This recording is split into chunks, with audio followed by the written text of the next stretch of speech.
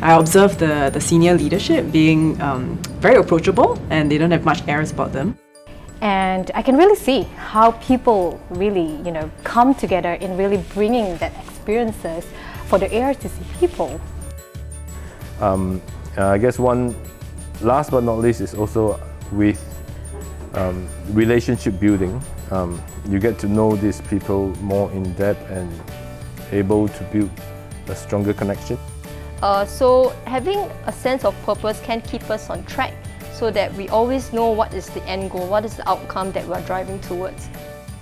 In SNA, we work as a team, a diverse team, so with people from different domains, different countries, definitely different cultures.